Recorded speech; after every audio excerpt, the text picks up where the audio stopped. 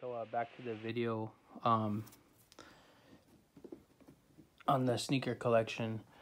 This next shoe is um, the Air Jordan 1 Spider-Verse um, Chicago or Spider-Man um, shock drop pair. So this is kind of rare pair. Um, a little bit about this shoe. Um, this was created by a, um, a Instagrammer slash um, sneaker collector um, by the name of a Soul Savvy, I believe, is how you pronounce um, his Instagram name. So um, he created a a shoe that was like a Spider-Man shoe, um, and then he was spotted wearing it um, throughout like Instagram and posting pictures of it. So then um, a lot of people caught wind um, to it, and uh, this was when the Spider um, Spider Verse Spider Man movie was gonna come out. So they um, kind of just like gave the guy like a bunch of um, viral um, attention. Um, and then his shoe he had was like um, a custom shoe he had made, I guess, for um, himself and his friends, I believe. Um, and then he was spotted wearing it on social media. So he had like versions, he had samples, and then he had women samples. So Nike kind of was like aiming towards making a Spider-Man shoe again um, in 2023, 2024. Um, so the guy that uh, created the Spider-Man shoe, they kind of took his idea of um, how he designed it and they kind of threw it out there like they're going to bring out um, their version of the Spider-Man or Spider-Verse uh, Miles Morales shoe. So all this craze was floating around um, and then the guy started to like gain like a lot of viral attention and then he was spotted in them um, and then he kind of was like um, wearing the shoes on his Instagram posts and then um, so Nike was gonna release um, their version of the Spider-Man Jordan One Chicago, and um, they had like um, the same design of his shoe. So they started to like put up um, pictures on um, sneaker news and different um, outlets for um, sneaker heads and sneaker collectors. So um, while this was going on, um, Nike was um, gonna release a shoe on a certain date. Um, and then the guy that created the original look or the original shoe of the Spider-Man um, was spotted in like sample versions, sample pairs. So like I kind of reached out to the guy and I was like, yo, um, messaging back and forth and trying to get a little info on the shoe so I could kind of track it down. And um, he was kind of like just not really um, responding. So he had uh, started to make pairs to sell. And um, I guess he like sold out the pairs he had. And then um, he was spotted in a women's sample um, size version. So then um, when the shoe was released, um, they released it in a shock drop, which is like um, a release day before the release day. So they release certain amount of pairs on a certain day before the shoe actually comes out in the release from like stores like such as like Foot Locker or whatever or Nike. So then that shoe um, was gonna get released, and then they had a shock drop. I think like a week before. So all this craze was going around about the Spider-Man Jordan ones that they're gonna be so rare. And then um, people started to get their hands on it early, and like sneaker events and like sneaker collectors were getting the shoe, and it was just floating around. Um, but there was no source of um, the actual shoe or no one was selling it or you couldn't buy it nowhere. So i just like had to sit tight and wait. So um what i did was started to do more research on the shoe and find out like how to get a hold of it. So um the shock drop happened to come around and i entered the raffle for the shock drop on the day it, um it was coming out and then um a lot of people with the pairs got rid of their pairs because they said that the shoe was trash and um, it wasn't worth nothing and it was ugly. It wasn't like a, a real Jordan. It was just like um, something they just created that was just going to sit on shelves and it had nothing like that looked like Spider-Man. But people were just saying like all around the whole shoe was just ugly. It was just nothing. It wasn't even worth buying um, and that there's going to be multiple pairs so everybody can just get them and it wasn't exclusive. So a lot of people got rid of their pairs. Um, i still couldn't get a hold of a pair. Um, even in my sizes it was impossible. Um, so i knew the shoe was rare at that point.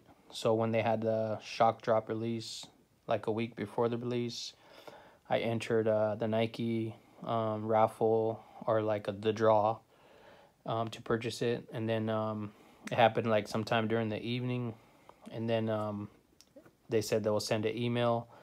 Then uh, I sent, I got an email that was sent, and um, I was watching live videos of people trying to buy the shoe, and a lot of people took um, losses, and um, the email would say like, you didn't receive the shoe, it's sold out. So then, pretty much at that point, I knew the shoe was very rare and it was going to be impossible to get.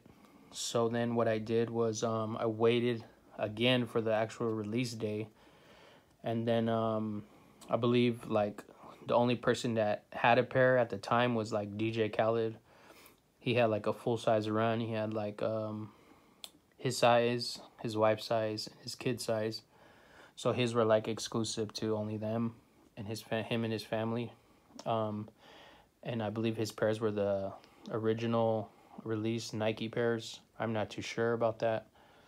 Um, so then um, the actual release uh, came out, or the release date came around for the shoe to release, like in stores, and then on the Nike website. So I, I during that time I kind of was like, I'm not gonna get it. I already knew because it was impossible to find it, and then to buy it when it was shock drop before the release so I knew it was a very rare shoe and I needed to get my hands on it. So what I did was um, I kind of contacted a couple of people that had the shock drop pair. Somehow they got it. Somehow people had it. It was floating around on, on eBay and different um, websites. Um, it was just like kind of uh, higher value, but um, I just didn't wait. So uh, what I did was the day it was released, I tried again to to um, purchase it in a raffle on the website, and it said I didn't get the shoe a, a second time. So then that's when I was kind of like in the middle of already contacting people that had the shoe, so I could um, get the shoe. So then um, I did a couple of um, messages to research to to sellers that had it so I summed it down to like maybe three sellers, and then I just went ahead and purchased it off one seller. I remained anonymous. Um, he did not know who I was, so he sent the shoe. The shoe was coming. I didn't get it on the day it was supposed to come out, so then I already knew my pair was coming. Um, so then at this point, I kind of was just like, already, like I have the shoe. It's already mine. The only thing was, um, it was mailing, and uh, it's kind of like tricky with um receiving mail than something that's rare. People could intercept it or switch it or take it or not even send it. So it's kind of just sitting tight. And then finally, when the shoe came, um, it was like pretty much worth it. It was just like rare um, to see the shoe to have it in hand. And then um, I believe um, the guy that created the shoe originally, he kind of like lost all his um, his um I would say like um, viral moments because a lot of people were like, "Oh, the real pair is like the real pair," and then he had like just whatever made pairs, um, like sampled material pairs that he made out of shoes. So um, I believe like uh, Nike kind of reached out to him and gave him like an opportunity to make an Air Jordan, just because he created the original um, Spider Man shoe. So then he came out with an exclusive Jordan 1 Prowler, which is like the bad guy in the movie. Um, so there was no possible way I could get that. but I did get the Shock Drop Spider-Man Jordan 1. So um, I believe this came out twice, and then I believe there was just like um, aftermarket pairs at sneaker stores that um, people um, got a hold of. So this is the shock drop pair. So um, a little bit about the shoe. Um, it has like a, uh, an error on it because of the um, the tongue. It was it wasn't supposed to be half red and half white. Uh, so that's like an error everybody says that the shock drop pair has. It's like a rumor, but I mean, I guess it is like a true rumor because um, the tongue is half red, half white. So um, I believe that's called like the split um, design, but people say it's an error, error pair.